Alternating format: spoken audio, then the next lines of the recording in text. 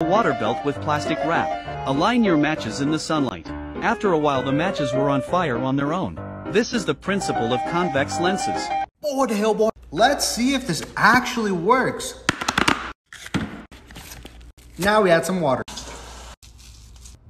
I literally tried to do this for like 30 minutes and it was so hot outside that I couldn't stand out there anymore and it wasn't working. So I don't know if it actually works. It might actually work, but for me, it didn't work after 30 minutes or so.